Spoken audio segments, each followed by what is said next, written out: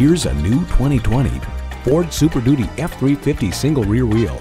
This truck has a super strong work ethic and it's ready to punch in when you are. It comes with great features you love.